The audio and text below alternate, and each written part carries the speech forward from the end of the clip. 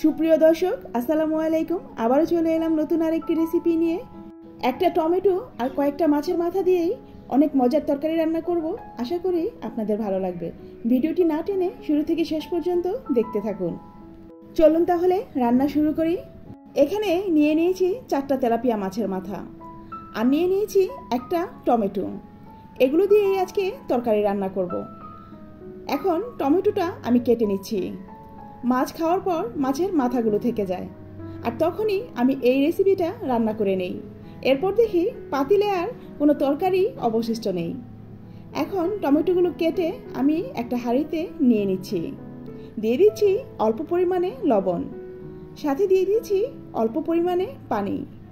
এখন চুলায় বসিয়ে দেব এই টমেটো সিদ্ধ হওয়ার জন্য। আর এই ফাঁকে মাছের মাথাগুলো আমি কেটে নেব। মাছের মাথার এখান থেকে আমি এভাবে কেটে নিচ্ছি। একটা মাছের মাথা দুই টুকরা করে কেটে নিয়েছি। কাটার পর আবারও মাছগুলো ভালো করে ধুয়ে নিয়েছি। আর এর মধ্যে টমেটোগুলো সিদ্ধ হয়ে গেছে। এখন এই টমেটোগুলো হাত দিয়ে আমি এভাবে চটকে নেব। এই রান্নাটা আমার খুবই প্রিয়। তরকারিতে অন্যরকম টেস্ট পাওয়া যায়। আর এক তরকারি দিয়ে ভাত খাওয়া কমপ্লিট টমেটো চটকে নেওয়া হয়ে গেছে। এখন দিয়ে দিচ্ছি কেটে রাখা মাছের মাথাগুলো।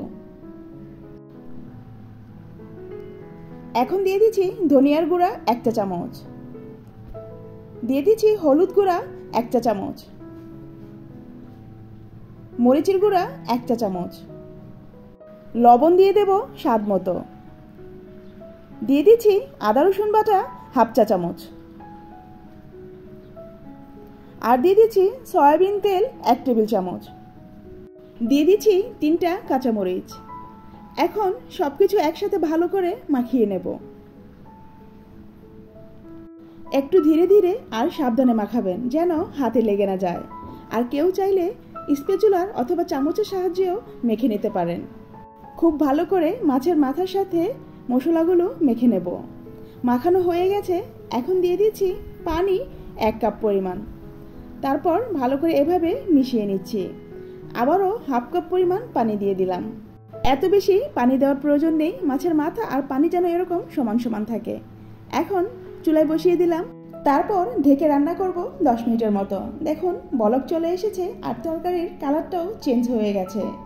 একটু নেড়ে চেড়ে আবারও ঢাকনা দিয়ে ঢেকে রান্না করব কয়েক মিনিটের মতো। ঝোল অনেকটা শুকিয়ে এসেছে। এখন একটু নেড়ে চেড়ে তারপর দিয়ে দিচ্ছি পাকা তেঁতুল। এতে করে তরকারির টেস্ট পুরোপুরি পাল্টে যাবে আর খেতে লাগবে অসাধারণ। তেঁতুল দেওয়ার পর তরকারি একটু নেড়ে তারপর মিশিয়ে দিচ্ছি। এখন রান্না করব আরও কয়েক মিনিট। তারপর চুলা থেকে নামিয়ে নেব।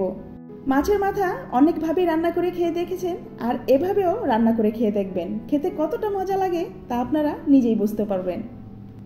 তরকারির স্বাদ একটু টক হওয়াতে মাছের মাথাগুলো খেতেও অসম্ভব ভালো লাগে। আশা করি আজকের রেসিপি আপনাদের ভালো লেগেছে।